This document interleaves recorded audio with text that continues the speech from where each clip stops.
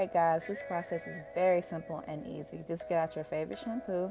Mine is from Trader Joe's. It's organic, it tingles the heck out of my scalp, and has my favorite thing in it, tea tree. And a little bit of this stuff goes a long way, I promise you. I always start with shampooing my hair from my scalp because I know eventually the product is going to work its way down to my ends.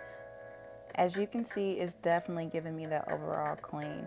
It's not even stripping my hair of all its natural oils. It's doing the job it has to do, literally, and just taking all the dirt with it. It's an amazing product.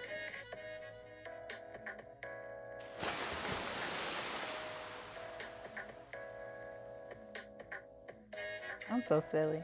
But of course, you're going to follow up with your conditioner. I got mine to match.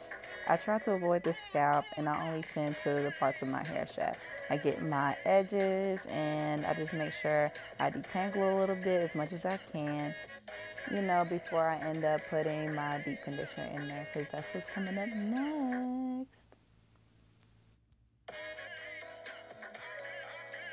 I'm also using my favorite deep conditioner. It's by Mielle Organics. It's that great mint deep conditioner everybody's talking about. It does the job for me. I use it to finger detangle before I use my Denman brush. And y'all, if you don't have one, get you one because it honestly gets all the kinks and knots out of your hair. And it doesn't cause breakage. I only have maybe a little bit just because I had a little bit of heat damage back in the day and I'm still getting rid of it but I continue the rest of this process throughout my entire head. And after that, these are my results. As you can see, my curls have been brought back to life, but that's the only amount of dead hair I had, so grateful. but I'm not gonna rinse my deep conditioner out. I'm just gonna twist my hair up into like four plaits because this is to be an overnight conditioner. This is very helpful for moisture retention when it comes to getting some braids in the next day.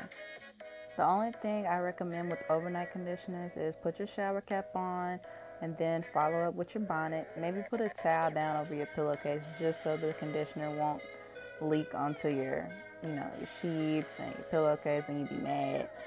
But this is all you got to do, guys.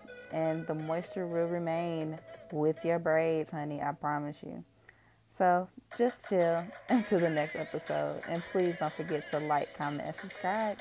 Bye, guys.